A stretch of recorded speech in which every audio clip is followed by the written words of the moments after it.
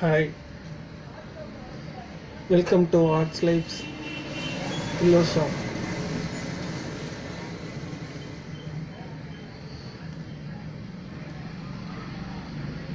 Thank you for watching.